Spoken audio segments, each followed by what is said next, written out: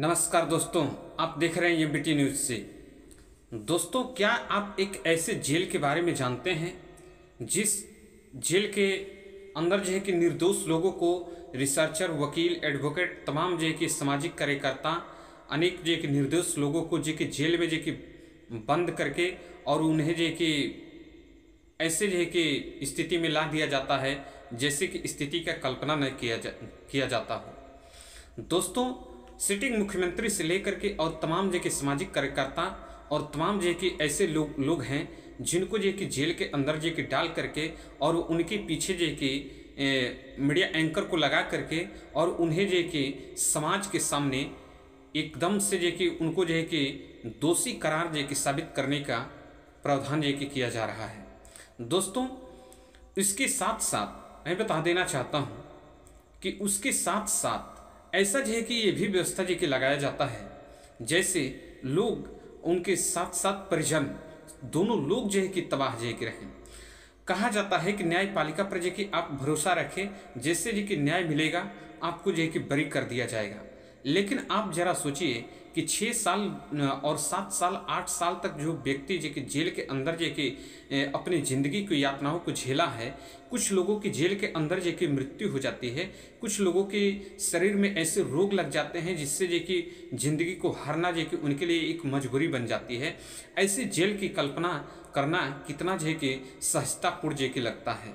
दोस्तों, मैं बता दूँ कि इस टाइम के दौर में ऐसा है जे कि कुछ प्रावधान जे कि की गई है। जिसके वजह से सिटिंग मुख्यमंत्री से लेकर के सामाजिक कार्यकर्ता से लेकर के तमाम जो है कि एडवोकेट और तमाम जो है कि सामाजिक कार्यकर्ता, तमाम जो है कि ऐसे लोग जो निर्दोष हैं और सभी लोगों को एक जो कि विशेष तौर से और जो कि अनेकों धारा लगा करके उन्हें जेल के अंदर जो कि डालने का लगातार जो कि प्रावधान, लगातार जो की व्यवस्था बनाई रखी जाती है और जा रही है इस टाइम दोस्तों, मैं आप लोगों से यह रिक्वेस्ट करता हूँ कि आप लोग जो है कि हमारे चैनल को विज़िट कर रहे हैं तो हमारे चैनल को सब्सक्राइब ज़रूर करें। दोस्तों, इसी क्रम में एक भीमा कोरे गाँव में प्रधानमंत्री को मारने की साजिश में ऐसे ऐसे तमाम जो है कि जिंदगियों को बर्बाद किया गया है, जिसका कल्पना जो कि करने मात्र से बहुत जो कि निंदनीय जो कि लगती है। जिसमें मैं बता दूँ कि तमाम जो कि निर्दोष लोग आज भी जेल के अंदर जो कि चक्की पीस रहे हैं, कुछ अपनी ज़िंदगी की भीख मांग रहे हैं और कुछ ऐसे लोग हैं जो एकदम जे कि ज़िंदगी से अब जे कि अंतिम पड़ाव में जे कि जा रहे हैं। कुछ लोगों के शरीर में जे कि ऐसी रोग लग चुकी है जो बाहर निकल कर भी वह जे कि अपनी ज़िंदगी सही तरीका से जी नहीं सकते हैं। ऐसे जे कि जेल की कल्पना किसी अगर तनाशाह ही कर सकता है और जे कि इसके अलावा जे कि कोई ऐसा व्यक्ति नहीं कर सकता है जो समाज से ताल्लुक़ रखता हो और समाज को धोखा न देता हो। लेकिन दोस्तों, जो कि ऐसी जो कि व्यवस्था इस टाइम जो कि की गई है क्या जो कि यह अच्छा व्यवस्था है या गलत व्यवस्था है, आप हमें कमेंट में ज़रूर बताइएगा। दोस्तों, साथ ही साथ मुझे यह कहना पड़ रहा है कि मैं बता दूँ, अभी जो कि राजनीतिक हलचल जितनी तेज़ी से जो कि देश में जो कि विख्यात जो कि हुई है, इसमें तमाम आप लोग को मालूम होगा कि तमाम जो कि धर्मनिरपेक्ष और जो कि लोगों को ऐसे जो कि प्रताड़ित जो कि की जा रही है, उसके बाद, बावजूद भी अपनी पीठ को थपथपाने की प्रयास की जा रही है। तमाम जो कि न्यूज़ ऐसे जो कि, सोशल मीडिया के न्यूज़ ऐसे चैनल हैं, जिसको डिलीट कर दी गई कर दी जा रही है, जिसको डिमोनिटाइज की जा रही है और उसके बावजूद भी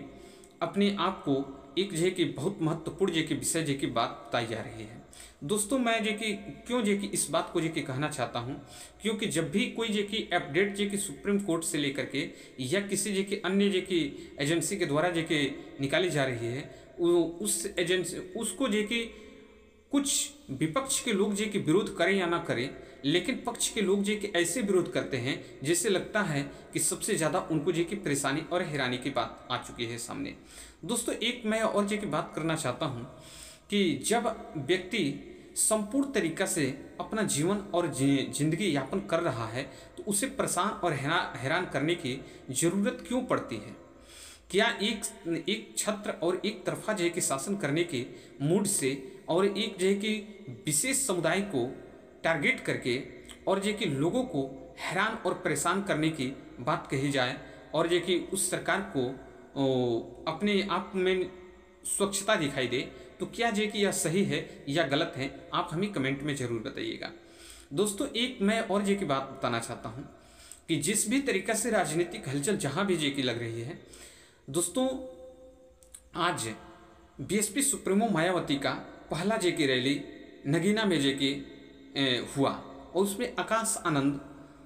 ऐसे जो है कि टारगेटेड जे की बात कर रहे हैं, जैसे लग रहा है कि बीजेपी एंड कंपनी के लोगों से मिलती जुलती उनकी की बातें जे की लग रही है। हमें इस बात से किसी प्रकार की दुख नहीं है या किसी बात का उनका जो कि आलोचना नहीं करना है, क्योंकि अब सबकी अपनी अपनी डफली अपनी अपनी राग होती है। लेकिन दोस्तों जी कि दुख तब होता है जब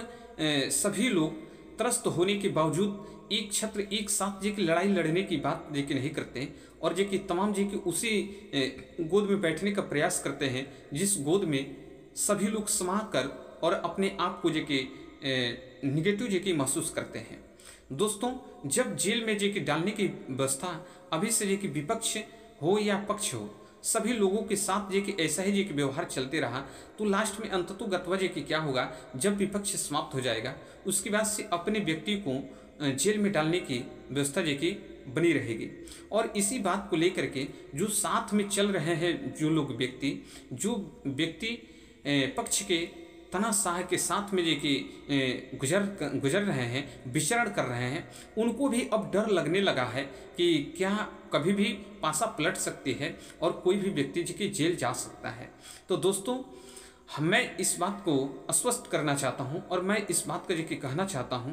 कि आप जहाँ से भी जे के हैं, आप वीडियो देख रहे हैं तो हमें कमेंट करके और जे सपोर्ट ज़रूर करें, क्योंकि कुछ ऐसे जे की बातें आप लोग के बीच में लाना हमारे लिए एकदम लाजमी जे की बनता है। और उस बात को जे कि छुपाया नहीं जा सकता, जो बात हकीकत होती है।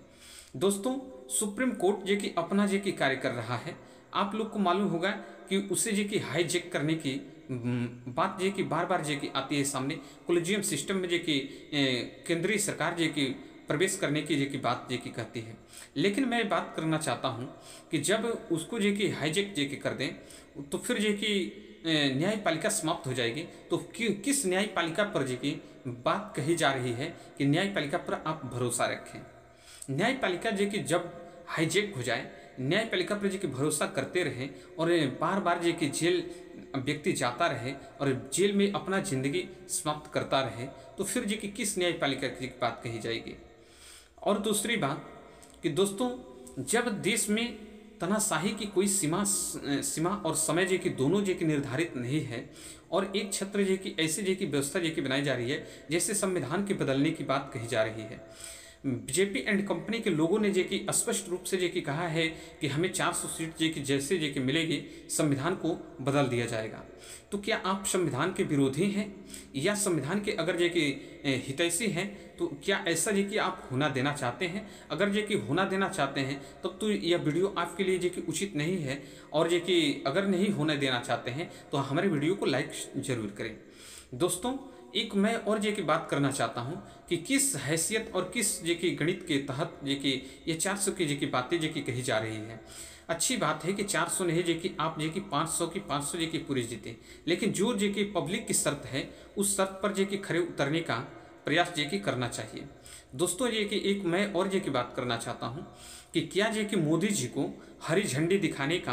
बीड़ा जी की थमा दिया गया है कि जहाँ भी कहीं भी हरी झंडी दिखाने की बात आए तो सिर्फ़ मोदी जी के अलावा दूसरा कोई ऐसा व्यक्ति बीजेपी के अंदर या पक्ष या विपक्ष किसी के अंदर जे कि ऐसा जे कि व्यक्ति नज़र नहीं आता है, जो दिखाएँगे सिर्फ़ जे कि मोदी जी ही जे कि हरी झंडी दिखाएँगे। क्यों दिखाएँगे? मैं आपसे पूछना चाहता हूँ बीजेपी जो केंद्र में, सरकार में जगह है, उस व्यक्ति के पास जे कि कोई ऐसा व्यवस्था है, कोई ऐसा नेता है या नहीं है? देश नहीं झुकने दूँगा, देश नहीं बिकने दूँगा तो फिर जे विजय माल्या देश छोड़कर जब जब चले गए तो फिर जे कि उनके रास्ते पर जे कि चलने का प्रयास जे कि क्यों किया जा रहा है? दोस्तों, मैं बता देना चाहता हूँ, जब बीजेपी एंड कंपनी के अंदर किसी भी प्रकार से नेता जब चुनाव लड़ने जा रहे हैं तो उनको जी की बोलने की सुर जी की कुछ अलग ही दिखाई दे रही है। कोई कह रहा है संविधान जी के बदल देंगे, कोई कह रहा है कि प्रधान प्रथम प्रधानमंत्री सुभाष चंद्र बोस हैं, कोई जे कि नारी शक्ति की बात करते करते ऐसी जगहों पे चला जा रहा है, जिस जगहों पर जाने की उसे ज़रूरत ही नहीं है। दोस्तों, यह एक सटीक और जो कि विश्लेषण एक ऐसा जो है कि बात जो कि मैं बता रहा हूँ, जिसमें जो कि सोचने और समझने की ज़रूरत अति आवश्यक है। दोस्तों, मैं कह रहा हूँ कि जब भी जो कि इलेक्शन का टाइम आता है तो जो है कि लोगों को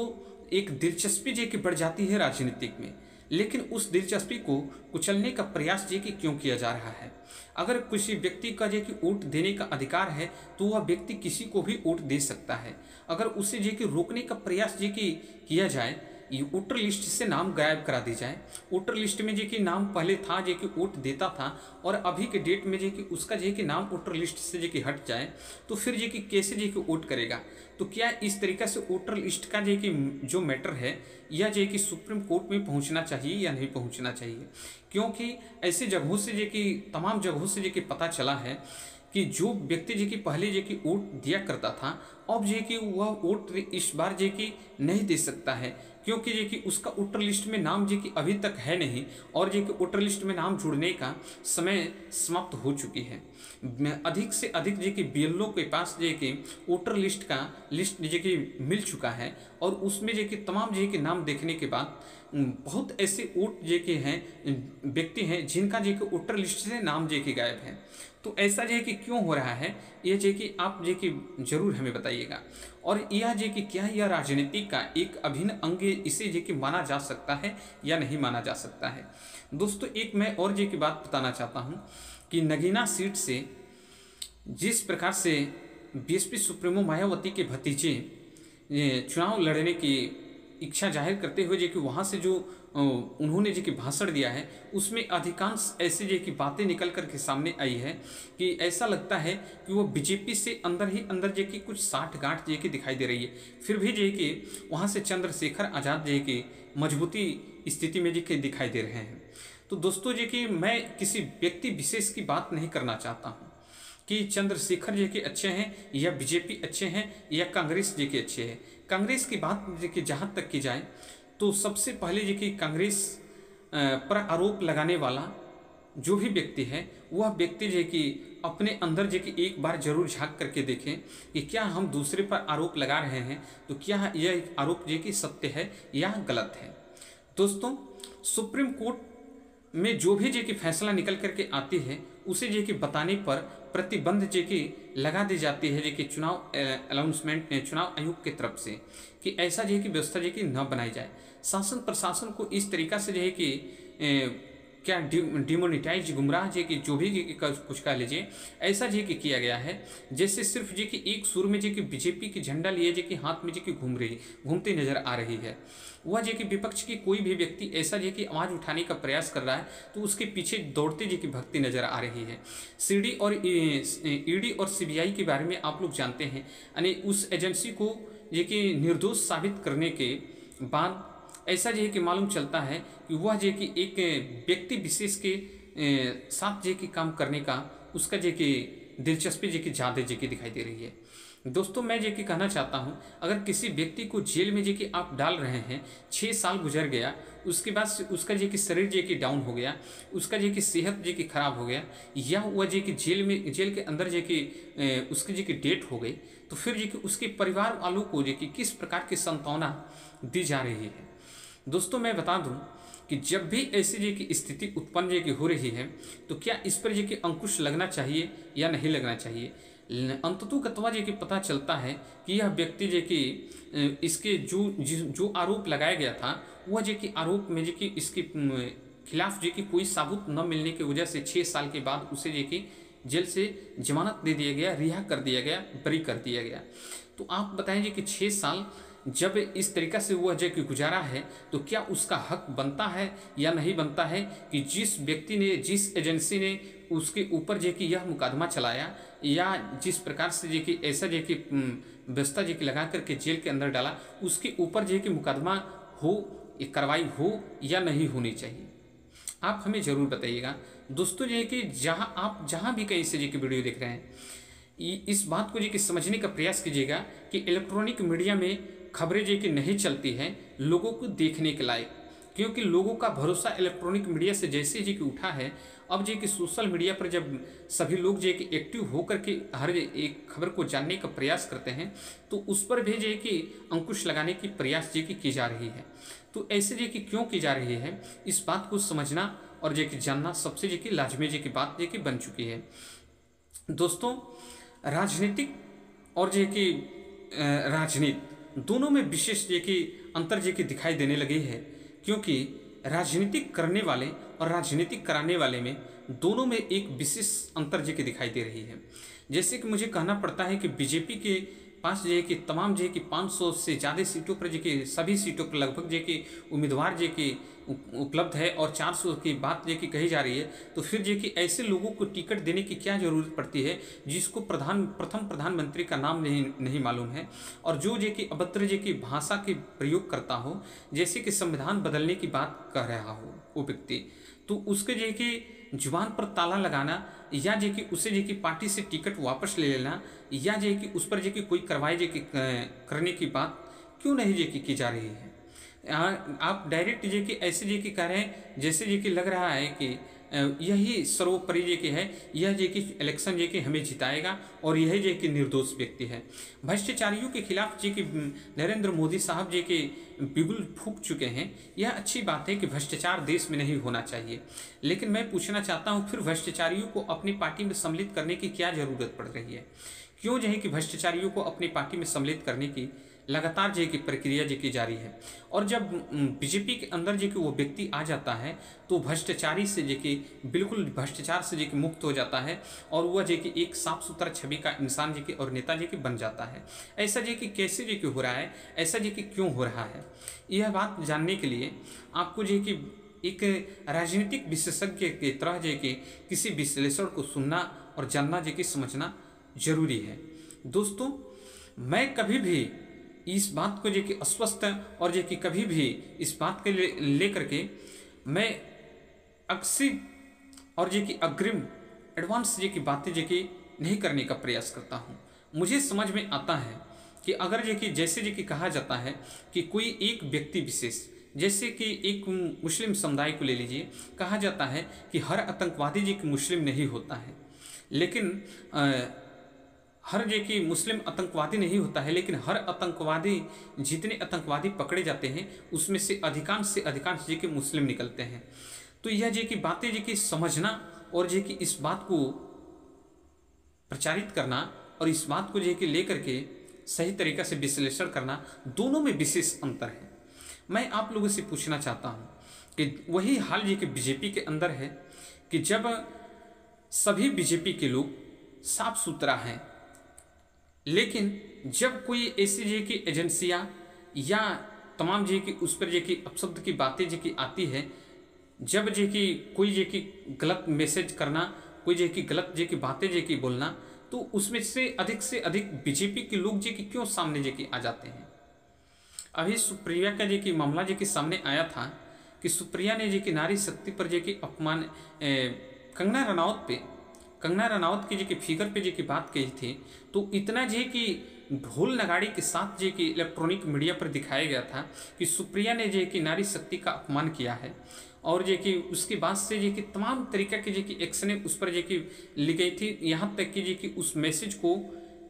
एक प्लेटफॉर्म से जो कि डिलीट भी करना जो कि पड़ा सुप्रिया को कांग्रेस के जो कि एक नेता है दिवंगत नेता है जो कि दमदार नेता हैं और वह जो कि लगातार जो कि, ऐसे जो कि कंगना रनौत के बारे में जो कि बोली थी तो सभी जो कि बीजेपी के लोग और चाहे अन्य जे के लोग, सभी लोग जो कि इलेक्ट्रॉनिक मीडिया पर इस बात को देखे होंगे और जानते होंगे कि ऐसे जो कि बातें जो कि आई थी सामने कि सुप्रिया को मैसेज को डिलीट करना पड़ा। लेकिन मैं उसी कंगना रनावत की बात करता हूँ कि जिस कंगना रनौत को भारत के प्रथम राष्ट्रपति का नाम जो कि नहीं मालूम और जो कि वह कहते हैं कि सुभाष चंद्र बोस भारत के प्रथम राष्ट्र, प्रधानमंत्री हैं तो कहाँ तक किस हद तक जो कि इस बात को जो कि आप जो कि सही मानते हैं कि उस व्यक्ति के बारे में जो कि बोलना और उस व्यक्ति को जो कि गलत कहना जो कि गलत होगा दोस्तों जिस प्रकार से संजय सिंह को कोर्ट ने जो कि जमानत जो दे करके बाहर जो कि किया है अब जो है कि लालू प्रसाद को अंदर करने की जो कि बारी जो कि आ गई है तो क्या जो है कि लालू प्रसाद को अंदर करके क्या साबित करना चाहती है भारतीय जनता पार्टी आप हमें ज़रूर कमेंट करके बताइएगा और ये भी ज़रूर बताइएगा कि जब चुनाव में एक सक्रिय नेता इस टाइम जे कि बेल पर जे कि बाहर है और जे कि वह राजनीतिक में लगातार जे कि अपनी फैट जे कि मज़बूत जे कि उसकी जे कि हो रही है तो फिर जे कि आप कैसे जे कि उसे जे कि जेल के अंदर जे कि डाल डालने का प्रयास जे कि कर रहे हैं। यह चुनाव के बाद भी हो सकता था या चुनाव के पहले भी हो सकता था, लेकिन चुनाव के दौरान जब वह व्यक्ति जे कि इतना सक्रिय है तो फिर किस बात का डर लग रहा है? आप हमें ज़रूर बताइएगा। और क्या जे कि आपको लगता है कि